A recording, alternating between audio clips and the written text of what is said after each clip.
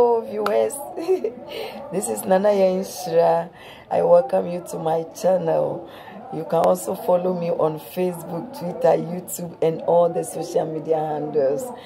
And share the program. You can bring in your comments. Today, I want to talk about a topic uh, my first love or your first love. when you meet someone you love the first time, how do you react? And when the person you propose to the lady and the lady also accepts you, what will be your reaction?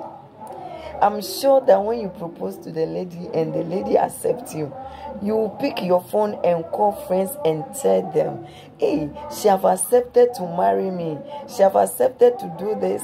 The lady has accepted me. You'll be very, very happy.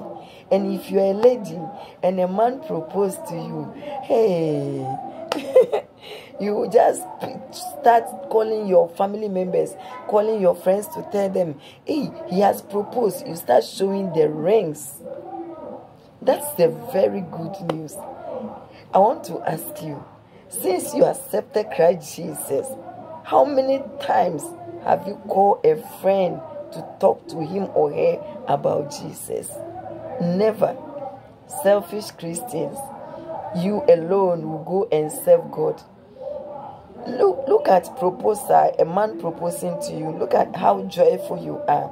The Bible also says that when one soul repents, the angels of heaven get excited.